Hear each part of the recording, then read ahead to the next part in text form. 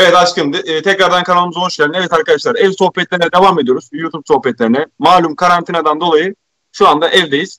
Ama evden eve dostumla beraber şu anda sizle keyifli bir sohbet gerçekleştireceğiz. Evde neler yapabilirsiniz? E, neler yapmalısınız? Nelere dikkat etmesiniz? Davranış bilimi uzmanı aşkım kapışmak. Evet yani şu an e, dünyanın yaşadığı bir sorun var tabii. Sadece bizim ülkemize özel değil. E, evet insanlar ben şunu görüyorum birkaç gündür. Demek ki insanlar evde çok kaliteli zaman geçirmiyordu. Ee, evlerdeki ilişkilerde sohbetler derin değildi. Daha üretken ve yaratıcı değildik.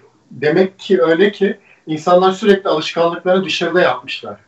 Yani dışarıda iş yerinde, orada, kafede, mekanda o kadar çok varlık ihtiyacı görmüş ki insanlar. Evde ne yapacağını bilmiyor. Yani e, sevdikleri nasıl zaman geçireceğini bilmiyor. Aslında en önemli derinlik ve insana en iyi gelecek şey evin içi. Yani ben çok üzülüyorum. Yani hani e, evde ne yapacağız canım? Ya bir insan evde canı niye sıkılsın? Tamam soruyorum şu an izleyicilere. Hiçbir şey yapamayacağım, yapamıyorum diyor ama hiçbir şey yapamamak bazen insana hatta çoğunlukla insana en iyi gelen şeydir. Dinlenmek için büyük bir fırsat gibi geliyor bana. Yani yapabilecekleri çok fazla şey e, yok. İnsanlar evine yabancı olmuş açıkçası değil mi? Bunu demek istiyorsun. Yani insanlar kendi evi, yani insan evinde rahat hisseder kendini ama eve geliyor evde yapacak bir şey yok. Çünkü dışarıya o kadar çok bağlanmış ki. Yani bizim en mahrem alanımız ev sonuçta. Ee, evet. insan gerçekten mutlu olamıyorsa dışarıda da yaşadığı şeyler, e, olaylar mutluluk değil, haz gibi geliyor bana. Yani ev insanın dinlendiği, demlendiği, e, sohbet ettiği, sevgisini gösterdiği, aldığı, e, entelektüel zamanını geçirdiği, kendini geliştirdiği, kitap okuduğu, evin küçüklüğü, büyüklüğü önemli, egzersiz yaptığı, yeni bir şeyler düşündüğü, yaratıcı olduğu bir alan aslında. Daha özgürüz. Çünkü kimse bize bakmıyor.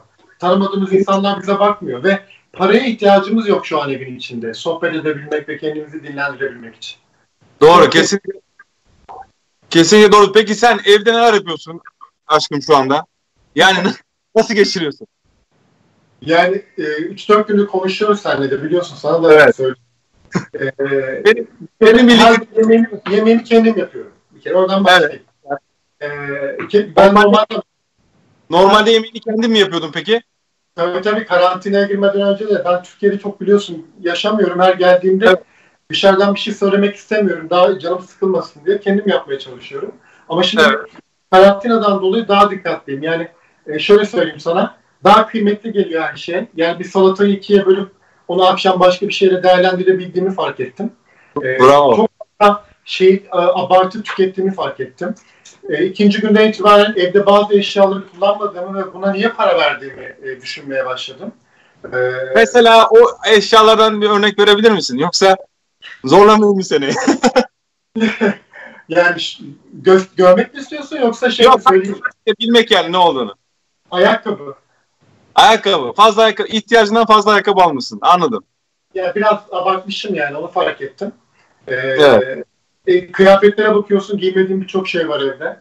E, bunları niye tuttuğunu düşünmeye başlıyorsun. Ama bak şu anda bence onlar sana fazla geliyor fakat dışarı çıktığında bence yine ihtiyacın olacak. Yani şu anki şartlarında ihtiyacın olmuyor bence. Çünkü evde ne bileyim bir eşofman bir tişört seni belki yani uzun bir süre götürebiliyor. Çok onları giymek istemediğin için gözüne fazla gelmiş de olabilir yani.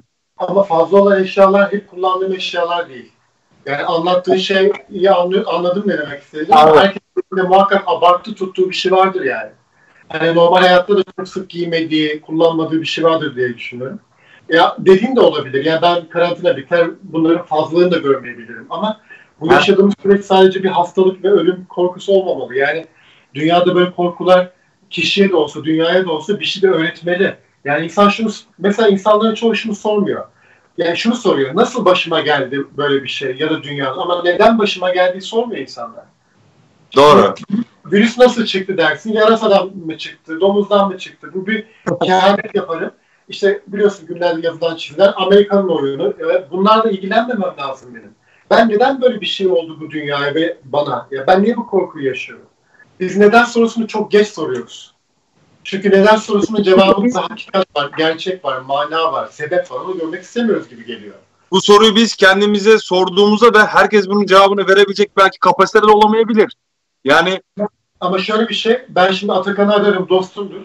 E, birkaç evet. şey sorarım onunla ne olduğunu, istişare ederim. Ama yine de gerçek ben tekken kafama gelendir. Yani Ne demek? Tabii. Ben doğru soruyu sorarsam kendi önüme bir gerçeklik gelecek. Ya bir etrafı izleyin arkadaşlar bu kadar zor değil ki. Yani baktığınızda insanlara, insanların marketleri talan etmelerinin altındaki sebep ne olabilir? Al, istifçilik. Az önce sana anlattığım ayakkabının fazlalığı. Ben de istifçi bir evet. adamım demek ki. Yani ya, ölüm, ölüm yaklaştıkça saldırgan olabildiğini gördün mü insanların?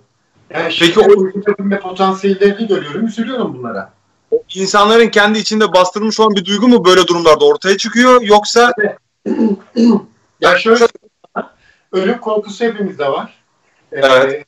hazlarına düşkün ve yaşamayı çok seven, ölümden korkan ve mekaya tapan insanlar, yani bunun içinde yeme, içme, güç, siyaset, cinsellik, bunlar aşırı tapan insanlar ölümden daha korkarlar ve ölüm yaklaştığında hemen dürtülerini yaşayamayacakları için e, ne yapacaklar? Yemeğe saldırma ihtiyacı var. Anlatabiliyor muyum? Evet. Ama aklı selim insan yemeği almaya gider. Markete o da gidecek. Onu da önlemek. O hiç gitmezse bu da problem.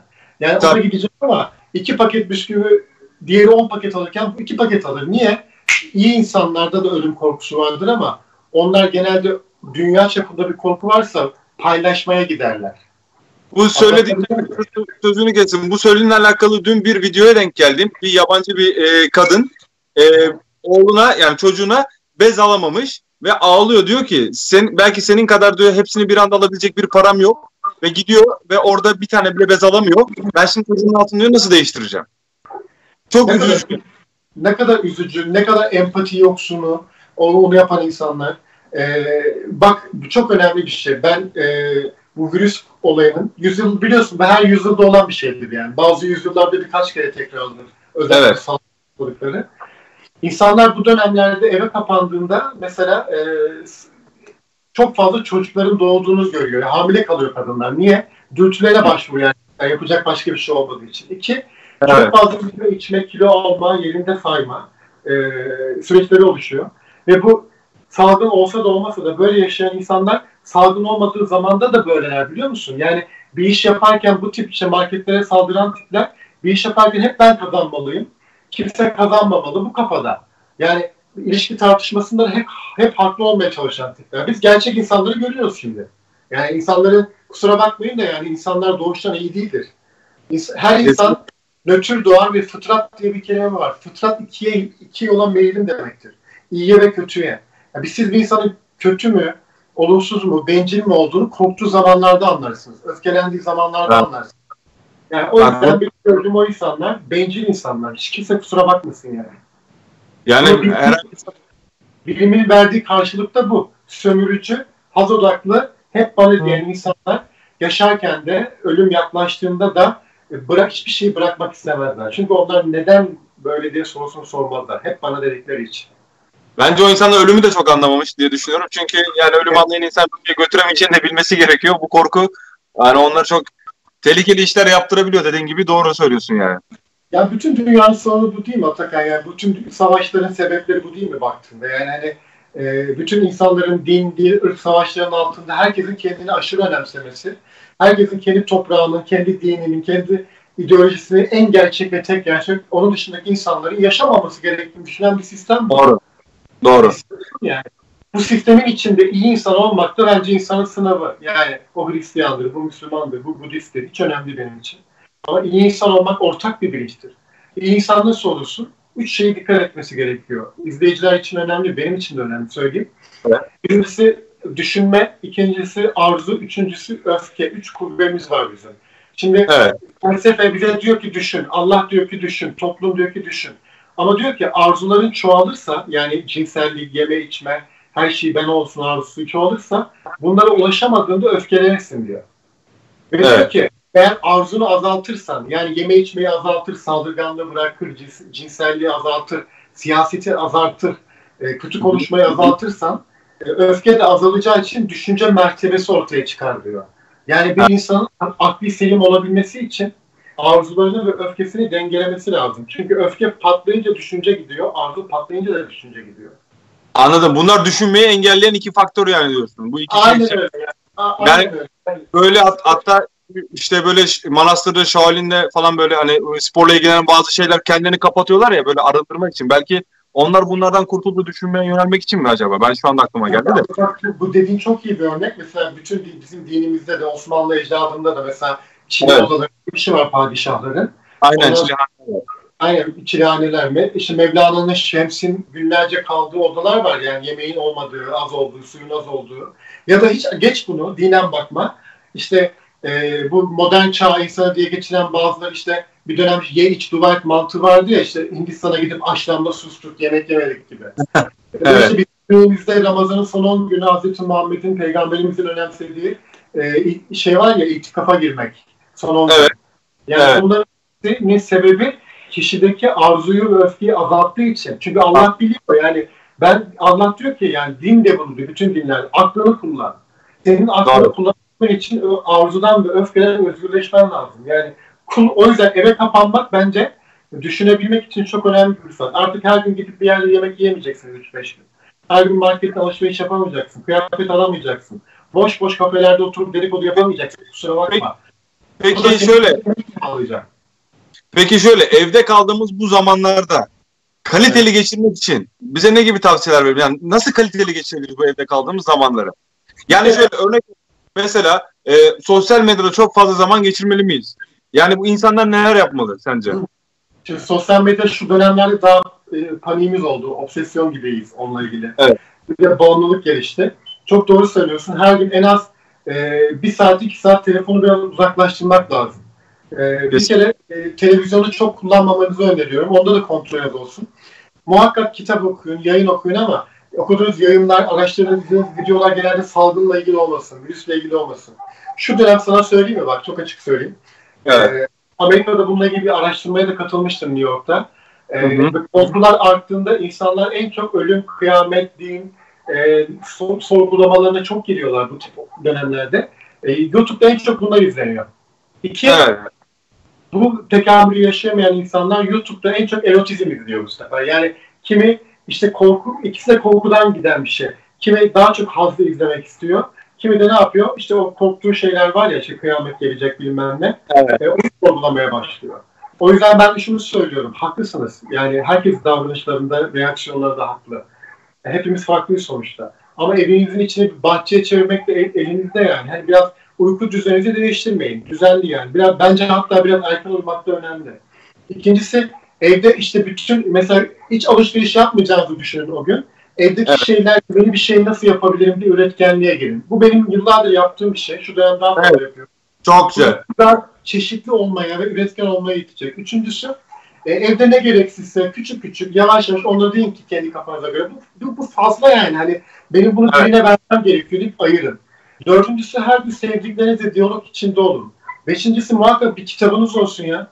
Yani kitap okunmadığımız için marketlere saldıran toplumlarız. Kimse kusura bakmasın. Burada yani, şöyle bir şey söyleyeceğim. Ee, yani aradığımda mesela kitap oku diye örnek verdiğinde evinde kitap olmayan insanlar tanıyorum. Evinde hiç kitabı yok. Evet, hiç almak yazıyor. Ya, ya, işin maddiyattan alamayanları tabii ki hani saygı duyuyorum. Şey yok. Demiyorum. Ma- benim bahsettiklerim maddiyattan değil abi. Ee, yani yok doğru söylüyorsun. Öyle insanlar da var. Bir şey de diyemiyorum artık gerçekten o insanlara. Ama e-kitap var. Mesela telefonlar var. E-kitap okuyabilirler. Yani e, değil mi? Bu da var. Böyle bir yöntem de var. Tabii, yani. Tabii. Telefondan da okuyabilirsiniz. E, yedincisi lütfen çok fazla haber izlemeyin. Yani insanlarda korku ve anksiyete e, obsesyonlar yani kaygılar arttıkça e, televizyon izleme yani kaygıyı görme ihtiyacı da artıyor. Yani çünkü beyinde şöyle bir özellik var dostlar. Beynimiz bir şeyi tamamlamazsa çıldırır. Yani hmm. çıldırır. Yani e, kafasında bir korku varsa eğer bu korkunun sonrasını göremiyorsa çıldırır. Görmek için her gün televizyon izliyor insanlar. Sabah akşam internete bakıyorlar. Niye? Tamamlanmamış bir şema var. Nedir o şema? Her evet, şunu bekliyor. Bu bitecek mi, bitmeyecek mi? Evet. Yani e, sonunda ne olacak, ne olmayacak? Yani bunu bekliyor. Ama ben diyorum ki eninde sonunda haberdar olacaksın her şeyden. Bir dakika evet. sonra, bir saat sonra. Televizyonu az kullanın. Yani televizyon izlemeyin. E, aileyle yaşıyorsanız internette bir sürü oyunlar var. Pedagojik oyunlar. Çocuklarla oynayabileceğiniz. Onları evet. oturun onları çıkarın. E, hatta oyun oynamak istemiyorsanız alın karşınıza çoluğunuzu, çocuğunuzu, sevgilinizi, eşinizi, dostunuzu, kimse.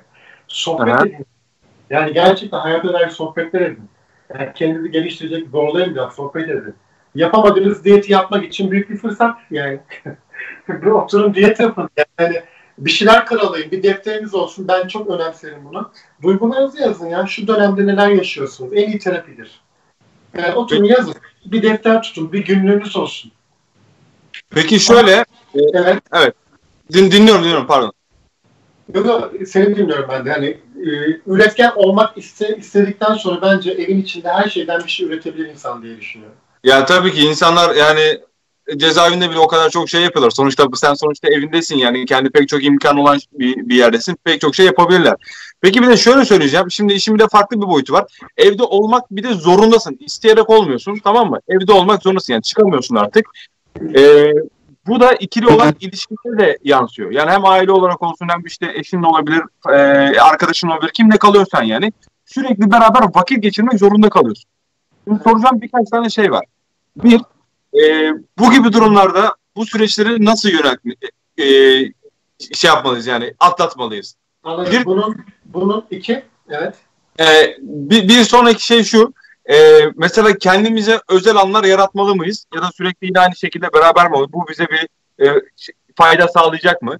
Onun dışında e, onun dışında beraber olduğunuz e, insanlarla e, mesela bir süre sonra artık mesela gözünüze bakmayan şeyleri bazen gözüne batmaya başlıyor. Ya da ne bileyim hiç rahatsız olacağını düşünmediğin şeyler seni rahatsız etmeye de başlayabiliyor.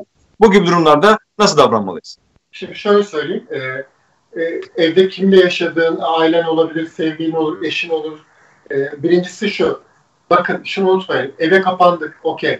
Oryantasyon diye bir dönem vardır. Yani ilk bir iki gün çatışmayla geçer. Çünkü ölüm korkusu yüksek ve yasak dedin ya. Yasak geliyor. Bir taraftan da seni itiyor evin içine. Bu iki şey hem itilme hem de korkma insanda e, öfke getirir. Bu çok normal bir şey. Hatta hatırlıyorsan bir iki gün böyle e, kimse eve girmedi, tepki verdi, reaksiyon verdi. Öyle şeyler dolandı ortalıkta. Evet. Üçüncü günden itibaren kabulleniş başlar. Bir şeyi kabul ettiğimizde sessizleşiriz, depresyona gireriz. Yani kötü bir şey kabul ettiğimizde. O yüzden insanlar mesela iflas ederken depresyona girmez. Et, e, iflas ettiğini kabul ettikten sonra depresyona girer. Evet, yani, evet. Üçüncü gün itibaren kabulleniş başladı. O yüzden dikkat ettin mi? İlk iki gün tepki gösterenler üçüncü gün güruh halinde yükselip bu, bu kurala uymayanları eleştirmeye başladılar. Doğru. Buna da sonradan değineceğim uymayanlara. Ha, ya burada önemli olan şu. Sen birinci sorunun cevabını ikinci soruda verdin zaten. Yani evde birbirimizi sıkmamak ya tartışmamak için bir kere mahrem alanı yani özel alanınızın olması gerekiyor. E, ama evet. şunu söyleyeyim. Eğer bir evin içinde ilişki yaşayan insanların e, saygısız sevgileri varsa bu anlattıklarım çok işe yaramayacak. E, hmm. Ama ilişkide sevgi artı saygı varsa insanlar zaten lütfen sen kitabını oku ben burada biraz televizyon izleyeceğim. Mesafesini koyabilirseniz bunu başarırsınız. Ama e, evinizde saygı yok. Yani hani her istediğinde yanında olsun ya da yanına gideceğim bilmem ne her şeyi birlikte yapacağız filan derseniz e, saygısız bir ilişkide bu ana oğul, karı koca, iki sevgili hiç önemli değil. Zaten bu söylediğim ve umut ettiğin şey olmaz. Bunu da öğrenmesi için de bir fırsattır. Yani o da onun sınavı şu an zaten. Bakayım bunu başarabilecek mi, başaramayacak mı? O yüzden Çin'de karantina bittikten sonra toplu boşanma oldu. Bu, bu evet, ben ondan bahsedeceğim. Boşanma, boşanmalar olmuş yani çok fazla sayıda. Evet. Yani Türkiye'de de olacak, İtalya'da da olacak, İran'da her yerde olacak. Sebep ilişkilerine yatırım yapmayan insanlar iş ilişkilerine ve sosyal hayatlarına daha fazla yatırım yaparlar. E, işkolik olmak demek, başarılı ve çalışkan olmak demek değildir, evden kaçmak demektir. Yani e, bir anda siz sürekli sosyalleşen, iş hayatında olan aktif bir insansınız ama evde robot gibi yaşıyorsanız, işte size bu karantinadan dolayı eve soktuğunda bu sistem, bu korku, siz bir anda böyle birbirinizin görmediğiniz yanları görüp böyle tartışmaya başlayacaksınız. Peki şöyle bu olumsuz olan kısmı peki şöyle olabilir mi? E, diyelim ki yani ilişkileri kötü giden bir e, çift ama karantinada onların daha çok beraber olması için bir fırsat. Bu da mesela evde olduğunda bir fırsata çevrilebilir mi sence? E, bu, bu tip dönüşümler e, bu, bu kişilerin kim olduğuyla alakalı, yaşlarının kaç olduğuyla alakalı. Yani kaçtan de, bu işe yaramaz yani öyle bir söyleyeyim ki. Nasıl? Kaçtan sonra işe yaramaz yani? Kaç yaş kaç olduğuna bağlı değil ya. Yani böyle şöyle söyleyeyim sana 30 35'e yakın zamanlardan sonra çok zor. E ama şöyle değişebilir tabii kişi, kişilerin ilişkiyi kurtarmaya ve empati kurmaya, daha yapılandırıcı olmaya gönüllü olmaları burada esas diye düşünüyorum ya. Ee, yani şöyle söyleyeyim. Evinizde tartışmalar artıyorsa bu sizden kaynaklanmıyor. Üzerinizdeki korku baskısından dolayı şekil değiştiriyorsunuz. Her tartışmayı da e, kişiselleştirmeyin diye söyleyebilirim. En doğrusu bu galiba. Yani tartışma yükseldiğinde çiftlerden ya da insanlardan bir tanesi lütfen yani ara verelim deneyebilmeli. İçimizde evet. bir baskı var. Bu baskı bizi istemediğimiz yere getirebilir. Bak o da yine mesafeye getirdi. Gördün mü? Yani hani o da sen bir dinlen ben bir dinleyime getirdi.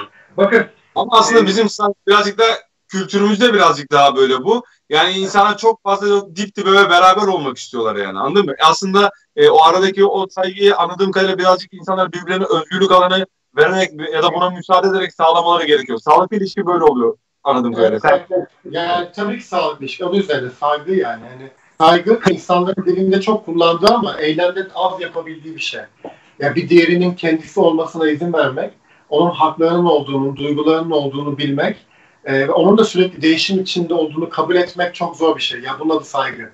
Yani, evet. yani e, zaten saygı olursa ne olur biliyor musun? Onun her haline, her kararına, her karar derken ilişkiyi rahatsız edecek şeylerden bahsetmiyorum. Her değişimine saygı duyan onun her halini sevebilir. Sevebildiği, saygı duyduğumuz için sevebiliriz. Eğer yani ben onun değişmesine, şöyle davranmasına izin vermiyorsam, saygı duymuyorsam onu istediğim gibi görmeye çalışıyorum. Yani o benim istediğimi yaptığında ben onu seviyorum. Bu da sağlıksız bir sevgi zaten. İzin veren, Anladım. İzin veren şey, izin vererek sevmek lazım yani. Peki şöyle e, bir daha e, virüsle alakalı olan konu dönecek olsa çünkü izleyiciler bunları biraz daha merak ediyor. Peki şimdi virüs çok tehlikeli evet. Peki yani virüs mü tehlikeli virüsten korkmak mı tehlikeli? Yani bu ikisini karşılaştırdığınız sence hangisi daha büyük bir etken? Çok güzel bir soru sordun. Onda şunu, sana şunu söyleyeyim. Ee, şimdi bu tür korkular ölüme götürüyor insanı. Yani ölümle ilişkilendiriyor sonuçta. Her zaman bir şeyin hazzı da hayal kuruyoruz mesela. Hazzı da hazzı gerçeğinden daha güzeldir. Korkusu evet. da gerçeğinden daha yoğundur. Yani sen şimdi bir telefon almak istiyorsun yine. E, hayal Aha. kuruyorsun. O hayal kurarken ki aldığın haz var ya o telefonu aldığında daha az haz alıyorsun aslında. O yüzden Hı. korku ölümün kendisinden daha yoğun yaşanır. O yüzden yani fıtratında bir şey var. Yani mesela ben şu an bir kaygı yaşasam işte ne bileyim e, atıyorum şüpheleniyorum ortam beni al, sırtından vurumu iflas eder miyim bilmem ne. Evet. Şu dönemde yaşadığım korku, iflas ettiğimde yaşadığım korkunun en az 10 katı. Yani e, o yüzden bir şey gelmeden derdine düşmek bizim toprakların biraz şeyidir. E, neydir? E, kültürü yani alışkanlığı aslında. Peki şöyle yani şu anda e, bir virüs var, bir salgın var. Bundan korkuyoruz yani. İnsanlar ister istemez korkuyor. Şimdi buna korkmuyorsak ya e, bundan korkmalı mıyız? Korkmamamız veya bu korkuyla nasıl başa ya da nasıl yönetmeliyiz bu korku sürecini? Yani korkmamalıyız diyemeyiz belki de korkuyu ortadan kaldırıyor. Ya şunu söyleyebilirim. E, diğer korkularla baş edebiliyoruz ama bu korkuyla bir kere bakın bu korku insana niye bu kadar büyük çaresizlik duygusu getirdi. Şimdi insanlar günlük hayatlarında hepimiz öyle. İşle, ilişkiyle ilgili korku yaşadığımızda ararız, tartışırız, işin üstüne gideriz. İşin evet. üstüne gideriz. Yani gidebildiğimiz için. Şimdi korkuyu rahatlatan tek şey korkunun üzerine gitmektir. O yüzden şu an korkunun üzerine gidemiyoruz. Mesela ben burada oturuyorum, salondayım. Tek başıma oturuyorum. Mutfaktan bir ses geldi. Ben eğer kalkıp ya o ses ne falan deyip burada oturduğum yerde sesi düşünmeye başlarsam panik atar. Kaygı bozukluğu falan yaşarım. Yani. Ama evet. kalkıp acaba mutfakta kim var, ışığı yakayım, oraya bakayım dediğimde korkunun üstüne gittiğimde iyileşirim. Aynı Amerikan filmlerinde var ya çocuk odasında ağlıyor, korkmuş. Anası geliyor, diyor ki bir şey gördüm. Kalk diyor birlikte bakalım, dolabı açıyor, bak kimse yok. İşte evet. bak yok. Ama tekrar çocuğu getiriyor, yatağına uzatıyor. Bizim Türk anası ne yapıyor? Yani yok yok öyle bir şey, yok yok öyle bir şey falan yapıyor anladın Ya çocuk korkun üstüne götürsene. Seçtirmiyor. Yani toplum buna alışmamış. Bu sefer şimdi ne yapıyoruz biz? Bir virüs korkusu yaşıyoruz.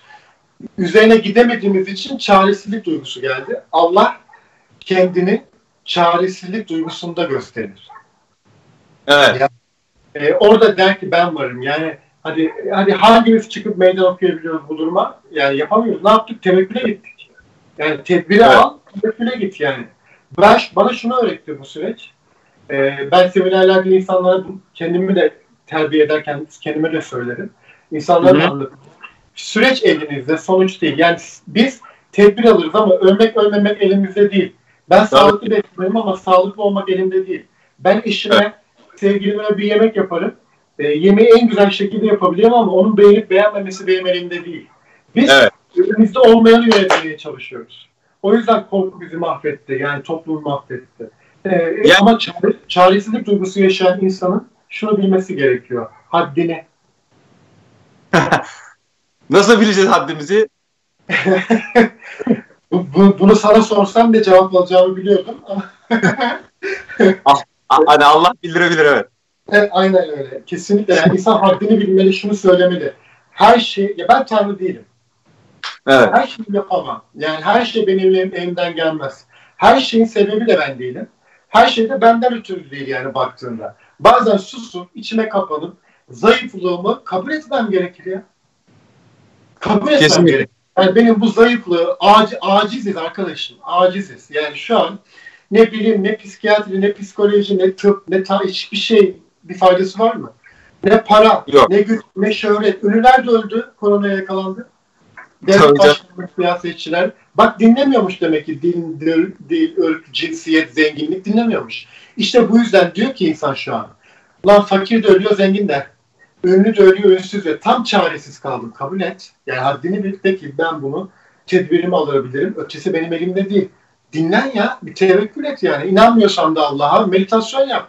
Yani evreni nasıl kurguluyorsan ona saygı duyuyorum. Onun yani, manasını çıkar. Yani bir neden sonuç ilişkisi kur. Bu senin benim başı, insanın şu an başarabileceği tek şey korkusuyla başarabilmesi için tedbirini doğru almalı önle ve duygusal önlemlerini almalı. Yani hayat bitmedi, eve kapanmadık. Eve kapanmak diye bir şey yok. Evde yaşamak diye bir şey var şu an.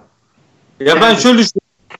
Ee, sözüne geçtim ben şöyle düşünüyorum. İnsanın yani anı yaşaması gerekiyor tamam mı? Evet gelecekten illaki kaygıları insan oluyor. Bunları çok fazla engelliyor, engelleyemiyor belki ama yani şu an yaşamak. Evet bir tehlike var mı? Var. Sen tedbirini alıyor musun? Alıyorsun. Ondan sonra 10 gün sonra ölecek miyim? Yani onun paniğiyle onun sıkıntısı yaşarsan şu anda anı yaşayamıyorsun yani. Anı yaşayamıyorsun. Evet bu zor bir şey belki bazı insanlar için ama. Carpe ya, e, aynen tam Carpe Diem. Carpe Diem seminerlerini sonra devam edeceğiz. Tabii, peki. peki. Beş, şöyle bir şey daha söyleyeyim. Ee, Şimdi uzmanlar uyarıyor. Diyor ki arkadaşlar diyor dışarı çıkmayın diyor. Bu virüs diyor şu anda yayılıyor vesaire falan filan. Ee, yani İtalya'da bunun örneklerini görüyoruz. İşte e, İspanya'da görüyoruz. Yani onlardan bir gün geride gidiyoruz sadece öyle söyleyeyim ve aynı şeyleri yaşıyoruz. Bizim için daha kötü aslında bile bile yaşıyoruz yani. Evet. Evden çıkmıyorlar ve insanlar bu kurallara uymuyor abi. Uymuyor yani. Neden uymuyor? Sadece yani Adamda bir baş kaldırmışlık var tamam mı? Diyor ki ya bana diyor ne olacak diyor ben çıkıyorum. Ben diyor inanmıyorum diyor. Abi mesela hani virüs var tamam mı diyor ben diyor inanmıyorum diyor. Ya. Evet çok var aynen öyle. Peki bunu neden yapıyor? Adam bak Umre'den gelmiş tamam Umre'den gelmiş. Adamı karantinaya almışlar. Oradan çıkıyor kaçıyor. Yakalayan polisin de yüzüne tükürüyor diyor ki sen diyor sen de ol ben hastaysam sen de ol. Mesela yani inancını sorgulamak istemiyorum tabii ki bana düşmez ama yani bu nasıl bir davranıştır yani anladın mı abi? Umurdan gelmiş adamın yapacağı bir şey değil yani. İnsanlar bu tarz davranışları neden sergiliyor? Sen... Ya ben tabii şu kalıplara çok inanmıyorum. Yani bir insanın hacı olması, e, umre olması, şöyle olması ya da böyle değişmesi evet. gibi bilmem. Bu biraz kalp meselesi ya. Yani umre bir e, e, bazıları için eylem, bazıları için söylem, bazıları için de gerçekten bir makam yani. Ama evet. dedim böyle uhrevi bir yerden geldi. E, zaten orada polise tükürerek bir kötülük yapıyorsun. Oradan kaçarak bir patava, yani terbiyesizlik yapıyorsun. Yani şey gibi düşün bunu böyle. Yani cesaretli ki bu. Yani korkuya karşı geliş değil. Kuralları yıkan bir adammışsın. Bunu anladım. Kendi evet. kuralları veren bir adammışsın. Bunu anladım.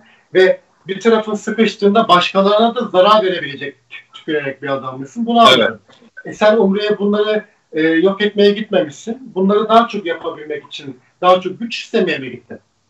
Yani. Kararlar yani. Yani sadece bu da değil. Mesela şu anda bakıyoruz bugün işte birkaç fotoğraf paylaştılar. Onları gördüm. İşte bebekte olsun ya da bir tekerlerde gayet güllük gülistanlık abi. insanlar hiç yani korona yokken daha az çıkıyorlardı. Öyle söyleyeyim. Şöyle bu neden yani? Yani bunun sebebi şu. Yaşlılar da çok çıkıyor. Yaşlıların sebebi şu. E, ben yaşlılara şöyle empati kurdum bugün. Çok da üzüldüm. Bir anda bu virüs çıktığında bütün dünyada bir korku salındı ya. Evet. İkinci günden sonra direkt yaşlıları öldürüyor diye düşün bak büyük bütün yaşları hedef gösterdi. Evet. bir anda yaşlılar direkt kendilerinin tehlikede olduğunu hissettiler. Ve bir anda evet. ne oldu? Bakın ölüme direniş 90 yaşında bile olur. Yani ölümü reddediş. Bir anda yaşlıların bazılarında yani evet öleceklerini hissedip daha çok havayı tema, teneffüs etmek, daha çok insan görmek için kuralları deşiyor zaten. İki, yani anladım. Yani benim ömrüm azaldı diye düşünerekten aynen, çıkıp aynen, yapayım demek için yani. Aynen. Yani orada öyle bir ikileme düşüyor. Daha bakın öleceğini bilen insan niye idam cezalarında son istek sorulur? Evet. Yani o da genelde oradan çıkar e, sorsan yani imkan versen beni çıkarın doğada biraz gezdirin der. Bir yere evet. götürün der. Ama imkan yoksa işte hamburger patates getir yiyin der yani baktığında. Anladın Aslında Yine şu anda biraz o günlerin de kıymetini anlama, anlam, anladığımız günlerden bir tanesi yani. Aslında normal özgürce gezip hava aldığın zamanlardan adamı diyorsun ki ne yapmak istiyorsun? Çıkayım diye hava alayım. Oğlum sen zaten her gün hava alıyordun. Yani alabiliyordun almıyordun ama yani. Aynen öyle yani baktığında. Mesela gençler çıkıyor ediyor. Yani ne yazık ki kusura bakmayalım ama eğitimsizlik ve cehalet devreye giriyor. Burada. Evet abi geldik. Hiç kimse kusura bakmasın. Yani bununla ilgili eleştirirsem de çok umurumda değil. Kusura bakmayın. Üç serseri yüzünden, terbiyesiz yüzünden milyonlarca insanın hayatı kimse risk edemez. Ben buna aptallık derim. Kimse kusura bakmasın. Yani buna e, nasıl anlamak istiyorsanız öyle anlayın. E, yani benim bir diğerinin hayatını tehlikeye sokuyor olmam ve bunun için e, saçma sapan cesareti gösteriyorsam ben tehlikeli bir insanım. Kusura bakmayın. Ben evet. herkesin öleceğinin, herkesin ölüm endişesi yaşadığı ve ölüm riskini taşıdığı bir yerde bu şekilde bir davranış gösteriyorsam ben normal hayatta neler yapabilirim? Siz bunu düşünün ya.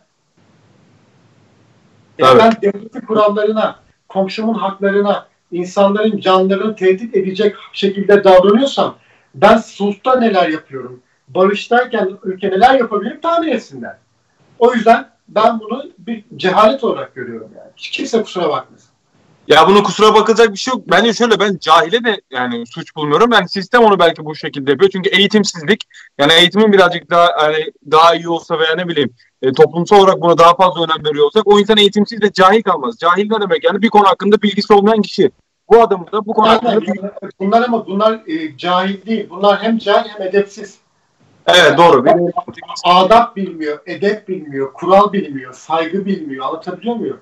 Yani ortada çıkıyor olması Atakan'ın, benim, herkesin sağlığını tehdit ediyor ya. Ama adam dışarıya bana bir şey olmaz diye çıkıyor. Size bir şey olmamalı diye çıkmıyor. Problem bu. Kendini düşünmede yetmiyor gibi başkasını zaten evet. Abi. Kendi evet. adamlarına Aynen öyle ya. Bunun başka açıklaması olamaz. Ve, ve beni artı şunu ekleyebilirim. Daha çok markete gitmek, daha çok alışveriş yapmak bunlar da var. Konuştuk az önce. Bir evet. kesim senin dediğin çok doğru bir kesimde inanmıyor. Bunu da çok gördüm yani. Ben inanmıyorum diyor. Yani. Ben, bana gelmez. Bu diyor işte oyun diyor. Bunu diyor 60'lar çık gibi diyor. Yayılıyor. insanları öldürüyor. Bize gelmez diyor. Korkutmaya çalışıyorlar yani. Ya böyle insan, buna da hiçbir şey anlatamazsın. Peki nasıl korunacağız abi bunlardan? Evden çıkmayalım. Ya şimdi virüsten korunacağız bir de bunlardan mı korunmaya çalışacağız? Ya bir de böyle bir durum Bence var bunlar yani. bunlar daha tehlikeli gerçekten bak. Yani şimdi virüsü biliyorsun yani alabileceğin önlemler belli. Diyor ki temas kurmayacaksın, yapmayacaksın. Şimdi virüsü kontrol edebiliyorsun. Yani kendini steril tutarsan virüsü kontrol edebiliyorsun. Onu izole edebiliyorsun. Tamam mı? Evet özellikle şu anda. Artık biliyoruz, tanıyoruz yani. Önceden tanımıyorduk. Ama şimdi tanıyoruz virüsü. Ama bu insanları kontrol edemiyorsun. Ne yapacağı belli değil. Nerede gezdiği, yani dinlemiyor, laf dinlemiyor. Ben sana şunu sorayım. İzleyici oradan anlasın.